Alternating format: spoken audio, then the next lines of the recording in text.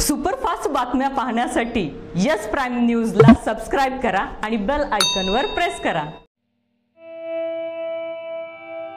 माणसासोबत कधी काय होईल आणि कधी मृत्यू येईल हे सांगता येत नाही. अशीच एक दुर्दैवी घटना काल पुरंदरमध्ये घडली आहे. रस्त्यावरील झाड अंगावर पडून नवविवाहित दाम्पत्यासह त्यांच्या भाचीचाही मृत्यू झाला आहे.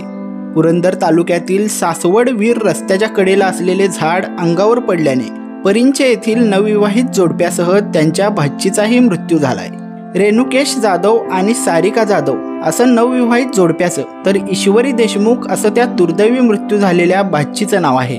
मिळालेल्या माहितीनुसार तालुक्यातील सासवड वीर रस्त्यावर काल रात्री वादळी वाऱ्यासह पाऊस सुरू झाला.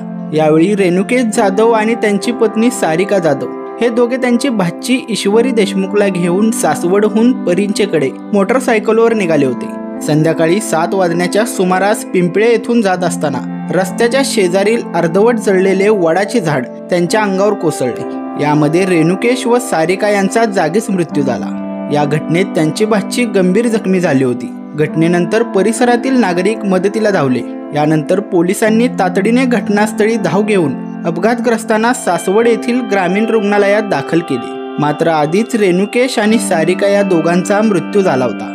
तर ईश्वरी देशमुख बेशुद्ध अवस्थेत असल्याने तिला पुढील उपचारासाठी पुणे येथे पाठवण्यात आले होते.